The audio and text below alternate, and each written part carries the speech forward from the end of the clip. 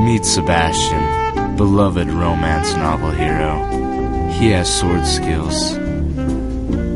He does yoga. Mmm, yes. He has beautiful golden locks, a great personality, and these leather slippers. And for a limited time only, he will be visiting your school to spread joy and happiness. So if you know someone who needs a hug, let Sebastian know. He'll brighten their day. He'll even push the water fountain so you can get a drink. This message brought to you by the CHS Student Body Presidency. I'm Derek Moody, and I approve this message.